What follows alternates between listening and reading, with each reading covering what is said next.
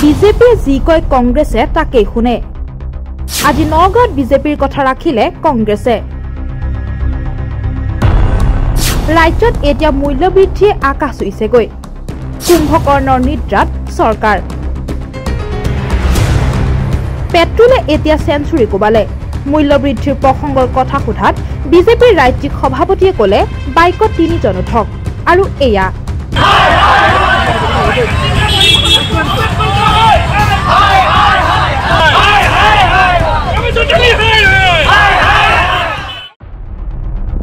দৃশ্য নগাঁৱৰ।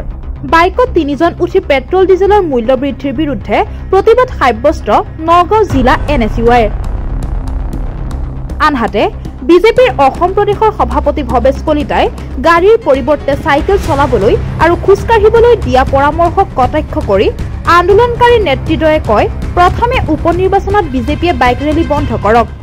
আজি কৈছে যে ভেকচিনৰ কাৰণে আজি পেট্ৰলৰ দাম বাঢ়িছে অতি দুৰ্ভাগ্যজনক কথা।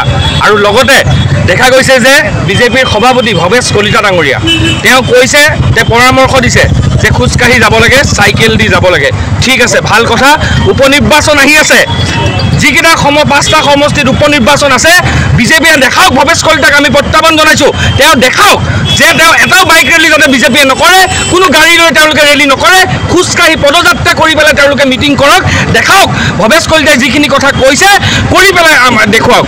আৰু তেওঁ কৈছে যে তিনিটা বহি পেলাই বাইকত তেওঁ আমি যাব লাগে। ঠিক আছে আমি তিনিটা আমি তিনিটা আমি বহি পেলাই আজিও আমি যাম আপোনালোকৰ সন্মুখতে যাম।